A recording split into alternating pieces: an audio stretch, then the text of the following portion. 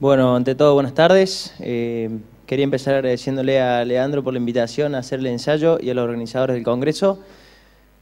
Básicamente este es el mismo ensayo que mostró José recién, eh, por lo que para no, no, hablar de lo mismo le, dimos un poquito un aspecto un poquito más a, campo. Eh,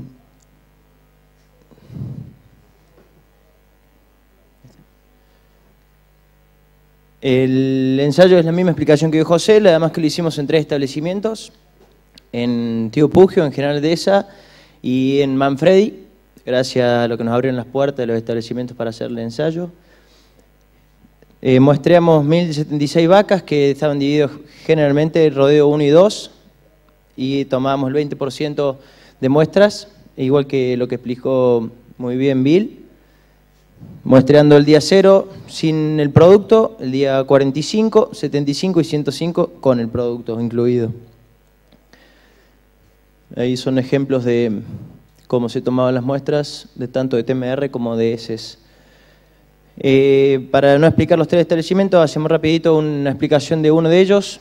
eh, en que tenían 230 vacas en ordeñe, rodeo 1 y rodeo 2,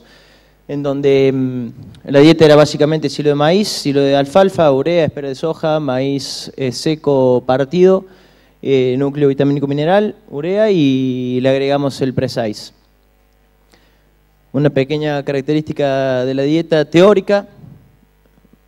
hecha en un software, y un análisis del TMR. Eh, según vemos acá, para nuestro gusto es un poquito bajo lo que da de almidón o de carbohidratos no, fibrosos, pero mm, bueno, como ya sabemos lo que es, y ya se habló bastante el día de hoy, lo que es muestreos, pueden dar bastantes eh, resultados distintos.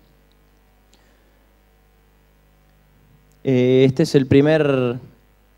el primer reporte de TMR, en donde podemos ver lo que es almidón 18%, que si volvemos, digamos, es el mismo dato que ponemos en el análisis. Y este es el primer reporte de almidón en materia fecal que encontramos el día cero. El día cero encontramos, según está remarcado acá, 22,9, casi 23% de almidón en materia fecal.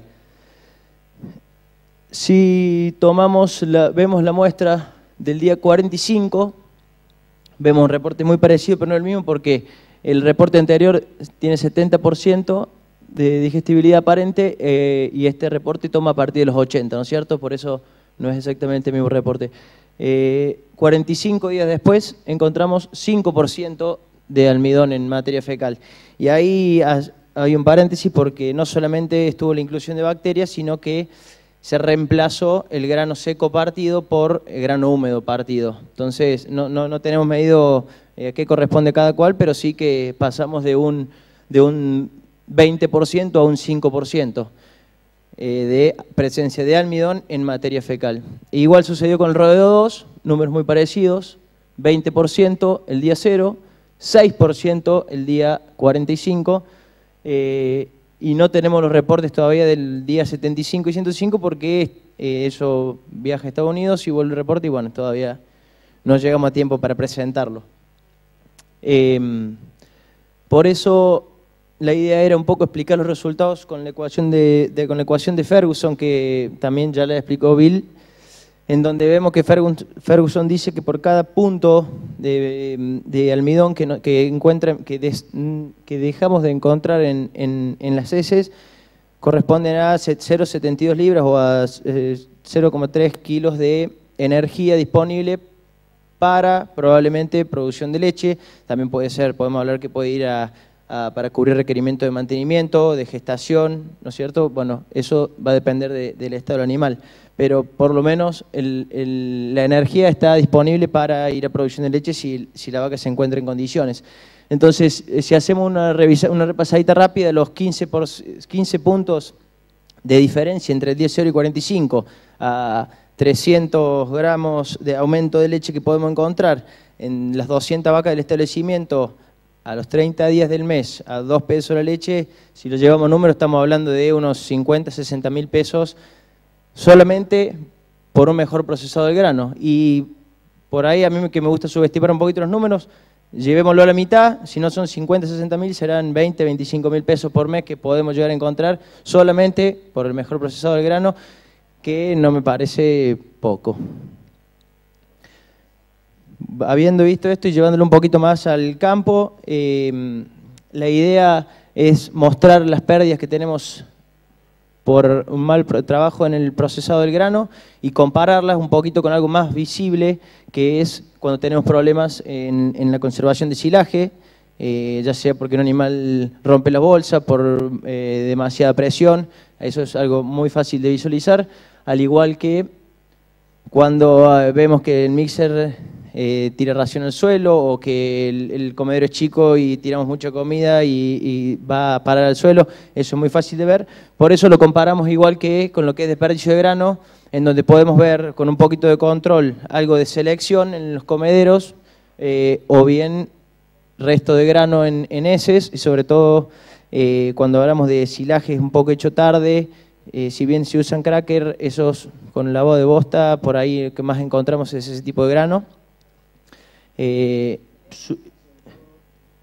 y sumado a eso, bueno, las consecuencias que este tipo de, problema puede traer, que principalmente serían trastornos metabólicos o bien eh, diferencias entre, eh, ¿no es cierto?, en producciones diarias.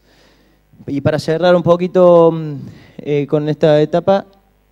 em, concluimos que em, si bien el procesamiento de grano es muy importante, hay un montón de factores que también influyen, eh, o que mm, para llevarlo un poquito al campo y decir, eh, cada, cada productor sabe hasta dónde puede llegar, si no podemos llegar a un molido total, podemos hablar eh, de homogeneizar bien la ración para evitar la selección, humectarla si es necesario para evitar también la selección, la buena inclusión de fibra para evitar los trastornos metabólicos y sobre todo intentar hacer lo mayor posible respecto al procesado. Y bueno, resultados esperados porque eh, si bien el ensayo eh, lo estamos presentando hoy, no está terminado este, por eso, digamos, como, como trabajo son resultados esperados. Para terminar, quería presentar una, una foto que sacamos en el campo con Bill.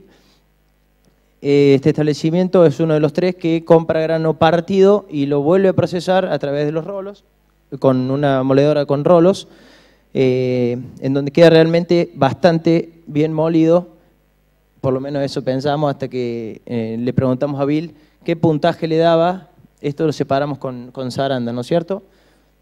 Eh, qué puntaje le daba lo que estaba viendo y nos dividió en tres, tres etapas y nos dijo que este, este partido, que realmente por lo que, por lo que puedo ver en los campos es, bastante chico, le puso un 3, a un intermedio que era entre una mezcla entre partido y molido un 5, y finalmente esto que era eh, el 8, ese era realmente era una, harina, era un polvo. Así que bueno, eso un poquito como para tener en cuenta las diferentes perspectivas de lo que es el procesado. Muchas gracias.